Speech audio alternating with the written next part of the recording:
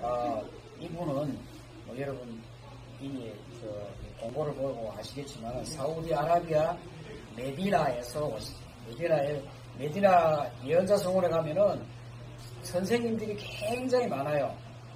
여기도 있고 저기도 있고 거기서 이렇게 그, 어, 예배하러 온 참배객들 또는 우무라 성지순례 온 사람들에게 이렇게 여러 가지 이슬람 적인 지식을 전해주는 그런 선생님인데 자, 2년 전에 한번 와서 2년 전에 2년 왔고 그 사이에도 계속 이렇게 부산에 뭐, 뭐가 붙었는지 계속 오고 싶어요. 와서 한국 사람들에게 이슬람 지식을 좀 전해주고 싶, 싶다라고 이제 계속 내일도 연락을 하는데 솔직히 말해서 여기 내가 오면 좋은데 한국 사람이 보시다시피 한국 무슬림이 몇 명 없어요.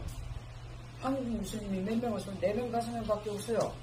그래서 나도 당신이 얘기를 전해줄 만한 그런 한국 사람이 조금밖에 없고 또 한국말로 이렇게 아랍어를 한국말로 통역 제대로 통역해줄 사람이 사실 없다.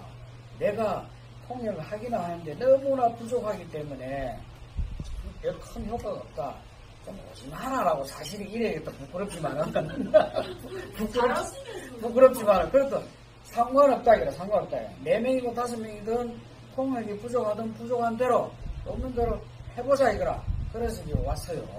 하는데 내가 통역을 하는데 부족한 부분은 우리 여기 저 부경대학교 박사과정 다니는 무하마드 사이프라는 형제가 영어로 부족한 부분 영어로 해주고 그 그 영어를 여러분들이 잘 모르면은 좀 또 우리 저 앞으로 사람 행사나 한국말로 이렇게 해가지고 어쨌든 간에 이 시간이 비록 짧은 시간이지만은 나름대로 어, 무의미한 그런 시간이 되었으면 좋겠습니다.